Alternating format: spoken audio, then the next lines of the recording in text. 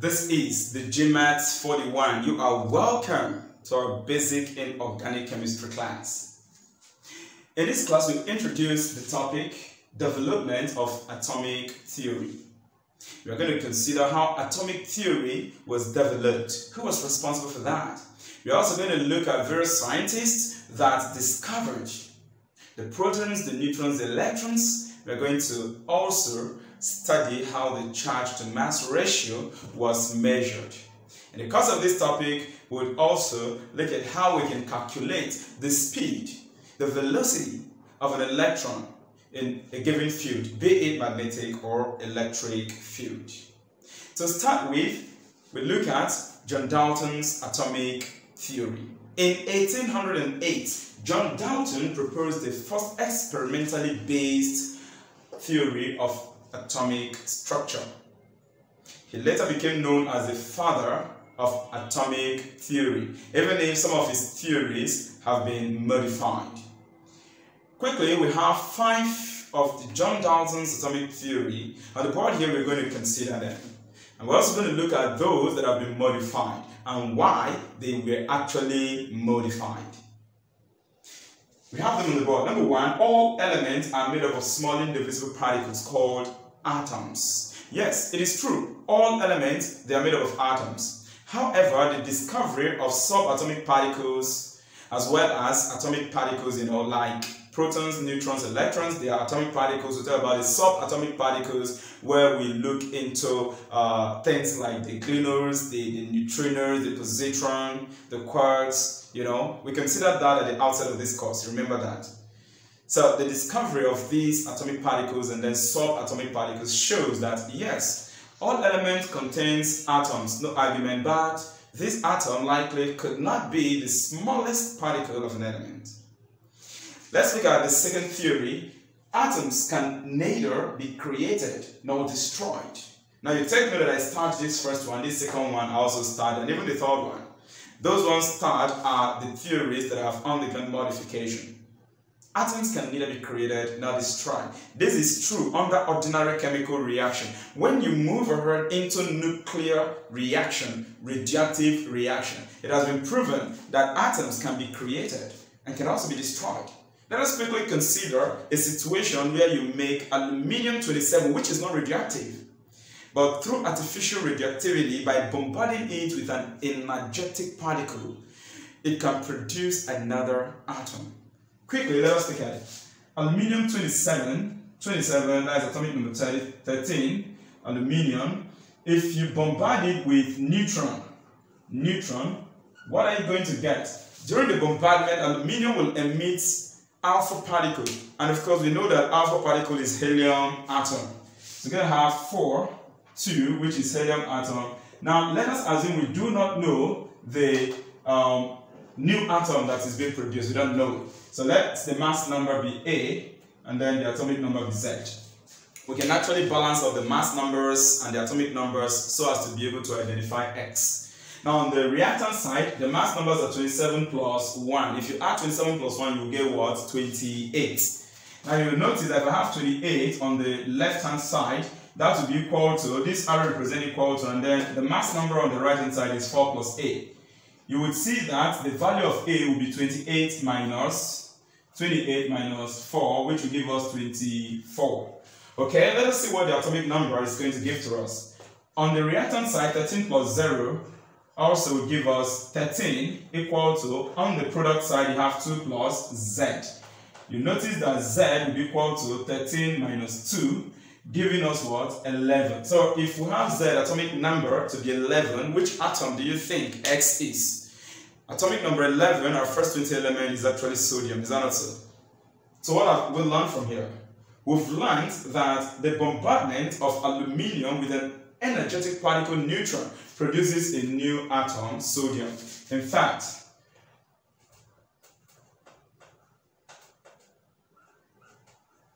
this AZX, that atom, AZX, that atom is equal to 24 11 sodium. This sodium is isotopic sodium. Is that okay? That is an isotope of sodium, sodium 24. So what have we just learned here in the second uh, in the second theory? atoms cannot be destroyed or created. Under a, a, a nuclear reaction, this has been modified. It shows that we can actually create an atom, can actually also destroy an atom. Alright, atoms of the same element are alike in every aspect but differs from atoms of all other elements. Once again, you see that this number 3 has been starred, showing that this theory has been modified. The discovery of uh, isotopes. The discovery of isotopes shows that atoms of the same element in a way may not be alike in all aspects like Dalton proposed. Is that okay? Uh, we remember when we treated isotopes, we stated that isotopes of an element, they have the same chemical properties, but what of their physical properties? Their physical properties are different. Their physical properties are different. And so it shows that uh, it's not actually true that in all aspects, atoms of the same element will be the same. Alright, now, number four, when atoms combine with other atoms, they do so in simple ratio. Of course, that's true. Consider the formation of water. The ratio of combination of hydrogen to oxygen is 2 is to what? 1. Is that okay? Simple whole number ratios. Then number five, all chemical changes result from combination or separation of what? Atoms. During chemical combination, we're going to find out when electrons combine or are being separated, it leads to chemical what? Changes. In the next video, we're going to consider scientists that discovered certain atomic particles. And that is what we are going to look at next. In this video, we now want to look at the discovery of electrons and protons. We want to find out the scientists that discovered electrons and protons, and of course, as much as possible, how he went about it. The scientist who discovered the electrons and the protons is J.J. Thomson. J.J. Thomson in 1897 carried out his cathode ray experiment using a discharge tube. Of course, he found out that when you subject a gas in that discharge tube under a high potential difference of about 10,000 volts, but under a low pressure, the pressure less than 10 millimeter of mercury, but of course, not as low as up to 0.01 millimeter of mercury, shouldn't be up to that, but it's less than 10 millimeter of mercury. When this condition is attained, that the gas will begin to glow to emit rays, you know. And when the rays are being emitted, are being produced, these rays will travel from the cathode to the anode. You can see the diagram here. This is just a simple discharge tube. Is that okay? Air is being evacuated. You know, air serves as an insulator. Is that okay? So it's being evacuated from the glass tube so that we have only gas in that tube. You can see this space, a connection to a vacuum tube, a pump that helps to remove air from the discharge tube. Now, once that gas is subjected to this high potential difference and low pressure, that gas would begin to emit rays. Now, when the rays travel from cathode to anode, they hit the glass walls of the discharge tube, and that causes the discharge tube to glow right? You see light. Now, I'm going to quickly use uh, this fluorescence tube as an example to help us understand this idea. I don't know if you've watched the way the fluorescence tube produces light.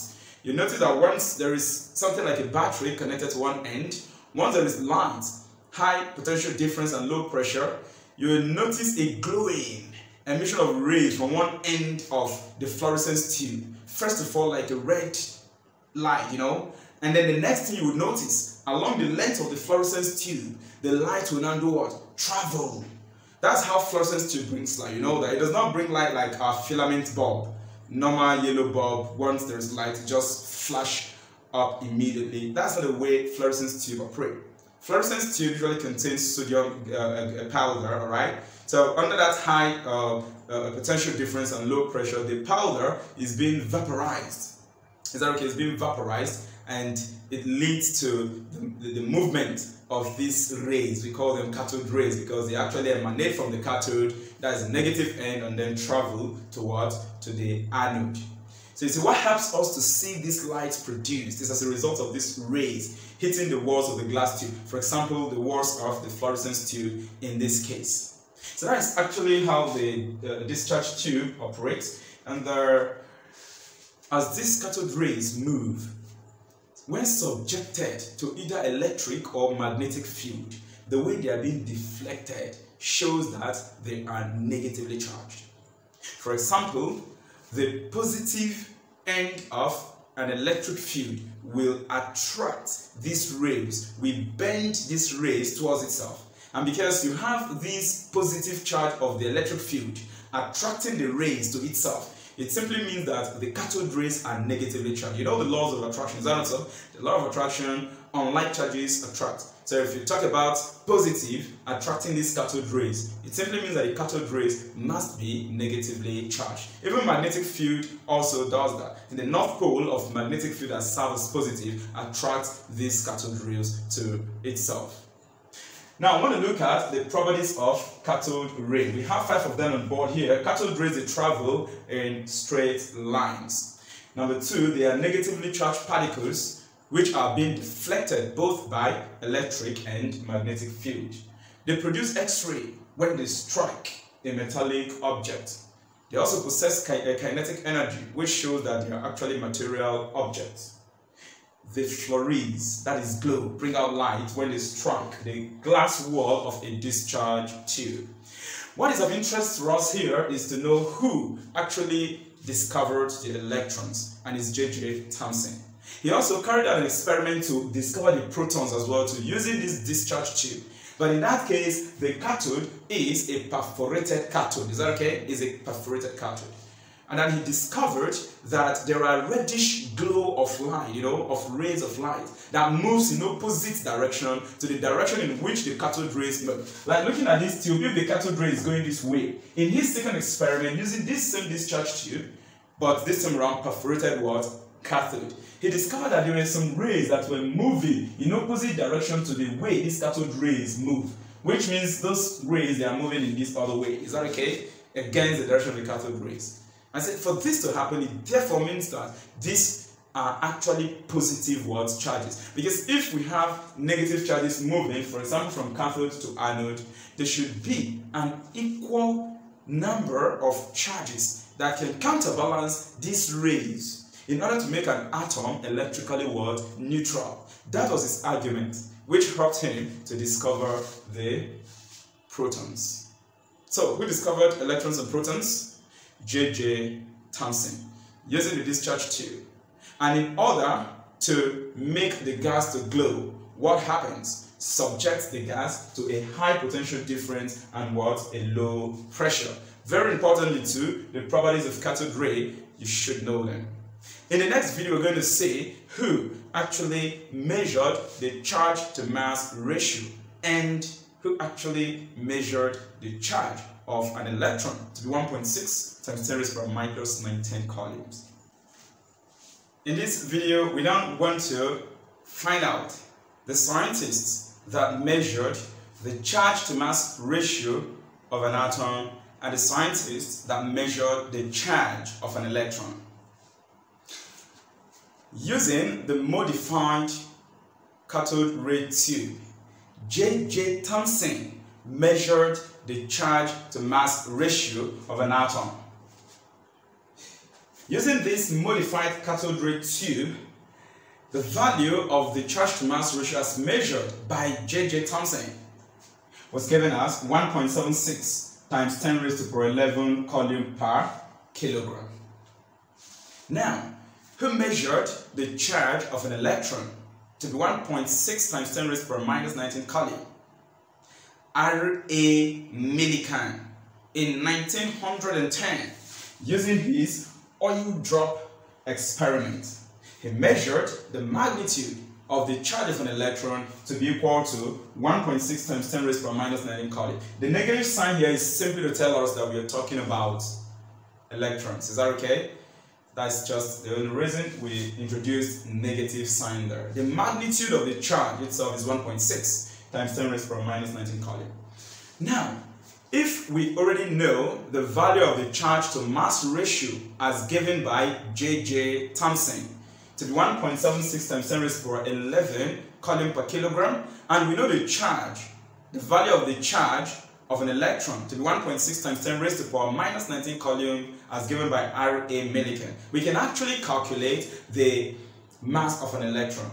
Yes, we can actually calculate that. Take note of something. We know E all over m already to be equal to 1.76 times 10 raised to power 11. That will simply mean that our mass will now be equal to E divided by what? 1.76 times 10 raised to power 11. That is to get the mass of the electron. And of course, the charge which we use E to represent, we know the value already. So just imagine we can calculate the mass of an electron to now be equal to the charge is 1.6 times 10 raised to the power minus 19. Is that okay? Then divide by what? The value of the charge to mass ratio there, which is 1.76 times 10 raised to the power 11. If you press this using your calculator, solving it out, you get a mass of an electron to be equal to 9.1 times 10 raised to the power minus 31 kilogram. Now that we've known the scientists that measured the mass to charge ratio, which is J.J. Thomson, we've also known that R.A. Millikan measured the charge of an electron. We've also determined the mass of an electron. We now want to explain this modified cathode ray tube. What's our focus here? We want to know the function of some of the things we have there, like the perforated anode, the slit, the field used there, which of course could be magnetic or electric, but I'll talk more in terms of magnetic field. And then we'll talk about the screen. The screen here is zinc sulfide. What are their functions? So here we go. When we subject the gas used here for experiment under a high voltage and low pressure, of course we know that the gas will vaporize and begin to emit rays. The rays are called cathode rays. We explained that already in the previous video. Now what will this anode do? The anode will help to attract these cathode rays. And because the anode is what? Perforated, it will not allow this cathode ray to do what? Pass through it. Once the cathode rays pass through this perforated anode, they approach the slit. What's the function of the slit? The slit helps to direct the cathode rays in what? Straight line. So to keep and maintain the cathode rays moving in straight line. Therefore, this cathode rays is meant to pass through the slit in a straight line and then hit this fluorescent screen, zinc sulfide. The purpose of the zinc sulfide you know, zinc sulfide is a, substance that can actually cause fluorates. It, it, can, it can help us to delineate a spot, delineate to indicate. It can help us to see that, oh, something is actually coming to this point. And these cathode rays would produce bright spots at point A. So the zinc sulfide helps us to see it. Once the cathode ray hits it, it will start to fluoresce. That's why we refer to it as a fluorescent what? screen. The field that is used in this modified cathode ray, what does it do? It helps to deflect these cathode rays from the straight path. And deflecting them, it gives it a circular path. You can see it, which is why we have another point produced at point what B. There's another bright spot at point B. It's as if the bright spot at point A has been shifted to what? Point B, due to the application of what? The field. Of course, that is as a result of attraction. When cathode rays we know to be negatively charged, if you introduce a positive field, the positive field will attract those cathode rays, bend them away from their straightforward path. Now, when there is a bending, what do we expect? We talk about radius, is that not so? Because there is a bending in the circular path, we talk about what? Radius. And whenever there is a circular path motion, the concept of centripetal force comes into what? Play it's possible for us to still return this bright spot at point B back to where it's supposed to be at point A. Still introducing what? A field that will be the same as this negative charge cathode ray so that there will be repulsion. Is that okay? That negative field will now push this bright spot back to point A. So we've known the functions of the things used in this modified cathode ray tube. In our next video, we are going to derive the velocity of the electrons in this modified cathode ray in this field. We'll determine the velocity of that electrons. Would also determine the field strength, be it electric or magnetic field strength. Because in this field, there are three forces acting there. We have the magnetic force, the electric force, the centripetal force. So we're going to use these three forces to derive the necessary equations for calculation in our next video. We now want to derive the velocity of an electron that is emanating from the cathode towards what? The anode, just like we explained from previous video. How do we determine the velocity of an electron? We shall link this to the charge to mass ratio. Recognizing that for an electron moving from cathode to anode, it's subject to three forces. One, the centrifugal force. You know, as explained in the previous video, when the cathode rays that produce bright spot at point A are being deflected by the magnetic field to point B, there is something to move in a circular path. You need centripetal force to keep that in a circular path. However, centrifugal force is required to push it backward. Is that okay? To that point A. Now there is this balancing of forces. Of course, we know that centripetal force is equal to centrifugal force. The only difference is that centripetal force pulls the object moving in a circular path towards the center of the circle, while centrifugal force pushes the object away from the center of the circle. So in this case, specifically, please note that it is centrifugal force that acts on the electron as the electron is being deflected towards the circular path. Centrifugal force. Now we also have the electric force as well as what? Magnetic force that act on these electrons. Now for these electrons to maintain a straight path, these three forces must balance. And if they must balance, what does it mean? It means that we expect that uh, centrifugal force, which I'm using Fc for it, will be equal to magnetic force, which I'm using FB. It will also be equal to electric force, which I'm using what? Fe. Centrifugal force is equal to mv squared divided by r. It has the same formula as centripetal force. Remember I told you these two forces balance already for any object moving in a circular path. The study of motion in physics tells more about that.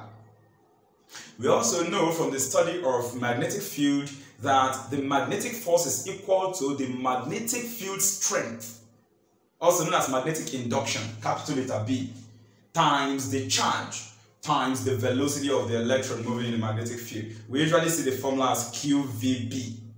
Q, as possibly may be seen in some text, is equal to what?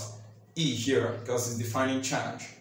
Then V for velocity, B, the magnetic field strength. We also know from the study of electric field that the electric force is equal to the electric field strength, capital letter E, times what? The charge. We usually have it as F equal to QE. But remember that Q, we are using E to represent it. That QE, that E that is capital letter E, the electric? Field strength. So please take note.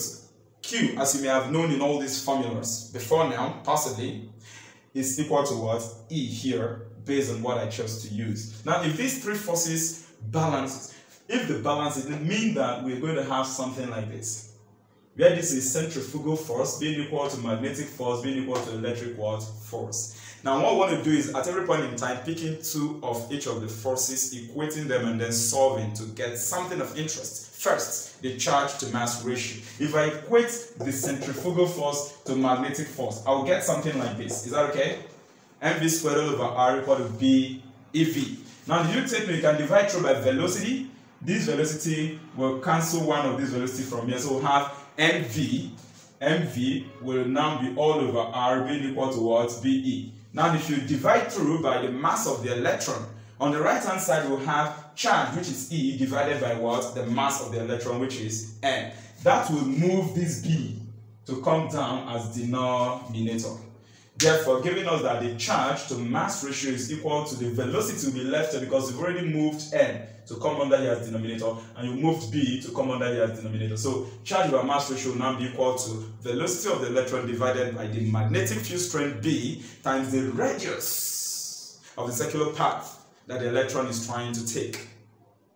Now, that gives us this equation 4 star. So take note for calculation purpose, we can actually get velocity from here, we can get the radius of the circular path from here, we can get the magnetic field strength from here. We can also get the charge to mass ratio if we know the velocity and magnetic field strength as well as radius. You know, given an equation, you can calculate any of the quantities from there by making it subject of the word formula. Now let us move on to a case where we equate the centrifugal force to electric force. When we equate that, we're going to get this. Now there is no common term there, so nothing can cancel out. Now all I need to do is to divide through by what? Mass. Just like I did there. If I divide through by mass, because you know I will have mv squared divided by mass. They have r here already equal to the electric field strength times charge divided by what? Mass. This mass and mass will go off. Then to make E over N subject to the formula, you know that this capital letter E will come over here. This small letter E is charged, capital letter E will be removed. So that we're going to have V squared all over this electric field strength will now come to become a multiplier of this radius and that will be equal to charge over what? Mass. That's how we got this equation 5 star. Then again, let us now equate magnetic force towards electric force and see what we're going to get. So look at it. Magnetic force BEV equal to what? Electric force, which is capital letter E, electric field strength times the charge, small letter e. Now, our aim is to get the velocity of the electron from here. Take note that the charge is common to both sides of the equation, so that charge will cancel out. You can see that. Small letter e, small letter e will cancel out. Then make V subject to the formula you divide through by the magnetic field strength B. And that gives us equation 6 star to be the formula we can use to calculate velocity if we know the electric field strength and the magnetic field strength. So you can see that the velocity of the electron is simply the ratio of electric field strength E towards the magnetic field strength B. Conclusively, let us see another formula for the charge to mass ratio. Watch something here. Already from equation 4 star, we know charge to mass ratio to be equal to velocity divided by magnetic field strength times the radius. We now know velocity to be equal to electric field strength divided by magnetic field strength. So in this equation 4 star, if I fix in E over B, that is electric field strength divided by magnetic field strength here, I will have E as numerator. It's going to be something like this. Where do I work in that? Alright, so it's going to be something like uh, charge over mass ratio being equal to, in place of this V, I will put E over B. Then everything will be divided by what? BR. BR. Now mathematically, this B will step down to the denominator to multiply this B. And that will give us B squared. So you have only electric field strength in the numerator. Therefore, the charge to mass ratio can also be obtained as electric field strength divided by the radius of the circular part times the square of the magnetic field strength. Now, have the definition of each of the terms used in these equations. In the next video, we shall now focus on the scientists that discovered the nucleus as well as the neutrons. In this video, let us now consider the discovery of the nucleus of an atom as well as the neutron. Who discovered them? Now we're going to start with the nucleus of an atom. In the year 1911, Ernest Rutherford announced his result of alpha particle scattering experiment, from which he concluded that an atom consists of a core, and the core is known as the nucleus of an atom. So you see that Rutherford discovered the nucleus. However, there is something I'd like you to know regarding the alpha particle scattering experiment. Why this glory and honor have been given to Rutherford, it's important for us to know that two other scientists were connected to the experiment specifically. Hans Geiger, who happened to be a colleague to Ernest Rutherford, and then Ernest Marsden. Marsden at the time was the student of Ernest Rutherford. And in fact, he was given the project work of this alpha particle scattering experiment. And then he measured these angles through which these alpha particles were scattered. It was after which Hans Geiger reported to Rutherford that actually they've seen some alpha particles bouncing back to the source from which it was projected. On the board here we have the diagram showing the alpha particle scattering experiment. This is the source of the alpha particle. It has been shielded by lead block, you know. Alpha particle is uh, is radioactive, so it needs to be shielded by lead block. Lead block shields them. Is that okay? Because being radioactive, you know, it can be dangerous to the health. And now we have metal foil here. The metal used in the experiment is gold foil. Is that okay? Now notice that we have some beam of undeflected alpha particles. These are the beams of alpha particles. Some of them pass through the gold foil without being deflected. You can see them. There were others that passed through and then were deflected. Look at the line there. Look at them. This is a microscope attached to a screen. The screen is zinc sulfide in order to detect the deflected alpha particles. While there were some that merely bounced back to the source. You can see this one being hit back from where it was directed from. So Rutherford explained the result that the only thing that is responsible for the bouncing back of some of these alpha particles is because there is something in the core, in the middle of an atom. Is that okay? That likely may have the same mass as what was projected to it. And so there is this collision and bouncing back. He referred to the core, like I mentioned earlier, as the nucleus of an atom. Do not forget, Rutherford discovered the nucleus he is giving the glory of the alpha particle scattering experiment. However, should you be asked if there are other scientists connected to this experiment, the answer is yes. We have Hans Geiger and Ernest Marsden connected to the experiment. Let us now talk about the discovery of the neutron. In 1932, Chadwick, from his experiment of bombarding beryllium with alpha particle, discovered the neutron. He stated that a neutron has the same mass as a proton, but a neutron does not carry any charge. We now want to look at the properties of the fundamental component of the atom, protons, electrons, and what? Neutrons. We're going to classify these properties under relative charge, their absolute charge, their relative amounts in the unit of atomic mass units. We're also going to consider their absolute charge in the unit, that's absolute mass rather, in the unit of what? Grams. So here we go. The first we consider the relative charge of these components. Proton has a charge of plus 1, electron minus 1, and then neutron is 0, it has no charge. What about the absolute charge? Proton, the absolute charge of proton is 1.602 times 10 to the power minus 19. It is equal to the absolute charge of electrons. The only difference is that the electron carries minus, while proton we assign plus to that okay? So you can see electron. Electron is minus 1.6. I approximated to 1.6 here to tell you that you can choose to use 1.6. You can also choose to use 1.602. For calculation purposes, most time we use 1.6 times 10 to the minus 19 coulomb. What is the absolute charge of neutron? It's zero. It simply does not have any charge relative amount of these components in the unit of atomic mass units, the proton is 1.00727. The electron is 0.000549. Now look at the neutron, 1.00866. Did you take note that approximately a whole number, if you approximate to whole number, the relative amount of proton is equal to the relative amount of neutron. If you approximate to whole number, you'll be getting 1, 1 there. Is that not so? which agrees with the fact that neutron has the same mass as what? As protons.